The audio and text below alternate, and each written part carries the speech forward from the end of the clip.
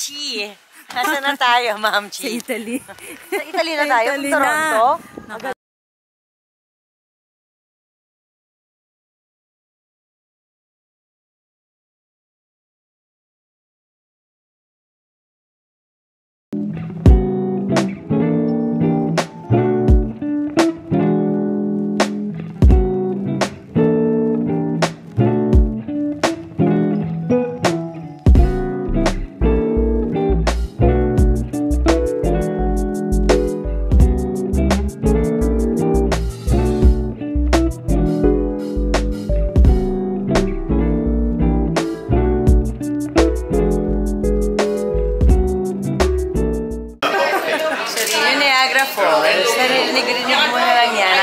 Nakikita kita mo sa picture. Parang okay. Hinulugan. Takta. Kung ano siya pinagsasabi nila. Tawa.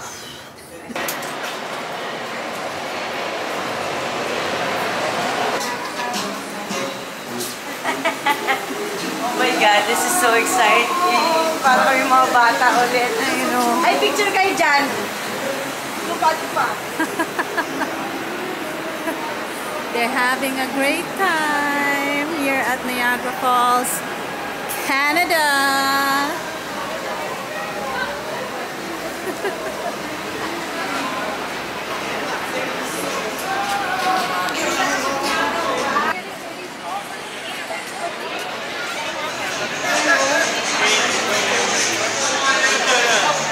We're here at Niagara Falls, Canada with Marian Diragsani, Chiron, the team of TIFF for short films in Toronto International Film Festival. And voting kami.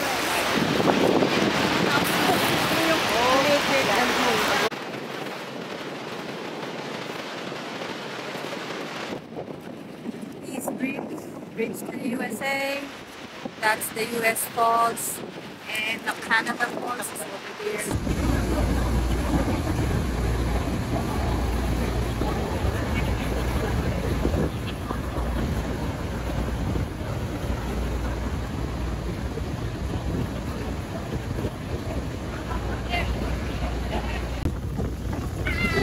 Hello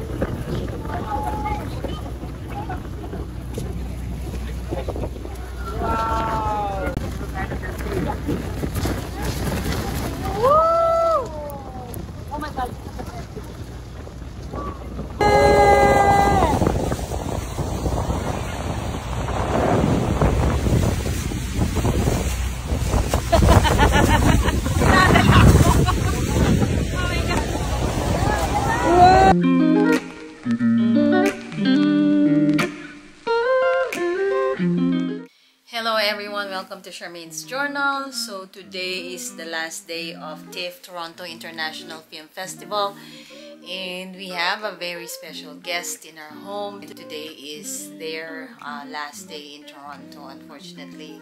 So we are just going to have a little despedida um, to get together and to spend time one last time before they go back to the Philippines. Meryl Soriano is here and uh, we are going to talk about her adventures in Toronto for the past almost two weeks in Toronto.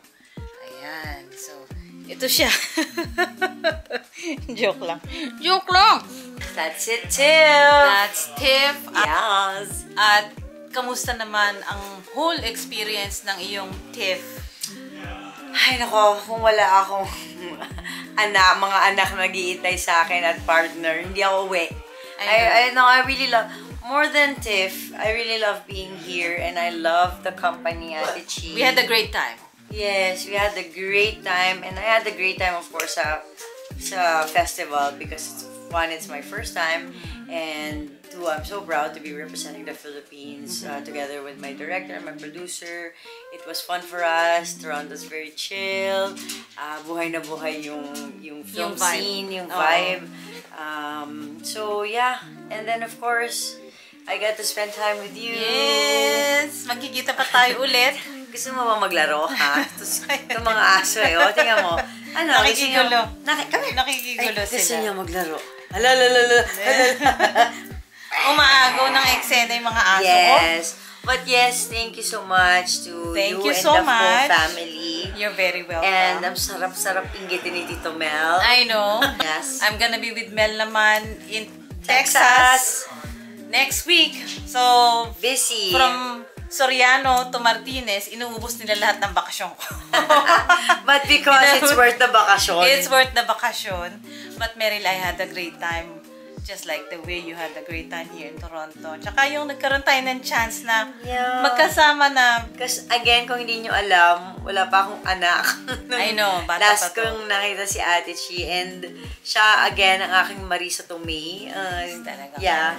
I will, hindi, hindi talaga kita ever nakalimutan I- because of that. So, yes. De, okay, I'll take And that. so happy to be able to spend time with you na ganito na med, med, matanda na ako. I know. Hindi matanda, but I mean, tumanda Pero na. Nalaman din yung edad ko. But anyway, okay lang naman. But look at you, hindi ka naman mukhang, Uy, ay, pero in fairness... Naiinis na- ano, ano, tagal naiinis- daw, ang tagal. ang tagal daw Hindi, natin. pero ang ang pinaka the best doon, hindi mo ko tinratong tita. Mom Chi. Hindi tita, kundi Mom Chi. Yun ang bago niya tawag sa akin. In-explain nila kung ano ibig sabihin nun. O, di ba, mga kababayan, mga Nakakatawa. Nakakatawa. Pero babalik ka pa ulit sa TIFF for sure. Yes. So makikita pa ulit natin si Meryl sa Toronto. Oo, Diyos ko. At magdadala ng garapata. In love na in love Yes, ako sa garapata. Garapata na talagang ah, mahal na mahal ni Mom Chi. Yes, that's my favorite. So, thank you, Meryl. And Thank hopefully, you. see you very, very soon. Maybe in Yes. Manila, we'll see each other. And of course, kung hindi pa ka nakaka-subscribe sa Charmaine's Journal, subscribe na kayo. Oo, sabi niya. sa Meryl Soriano, sub- subscribe na din kayo. Yon. Subscribe, subscribe. Thank you very much for watching. See you soon!